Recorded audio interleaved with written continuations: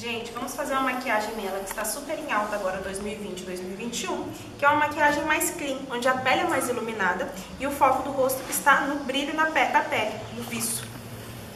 No olho não teremos tanta informação, estou removendo a maquiagem que ela veio.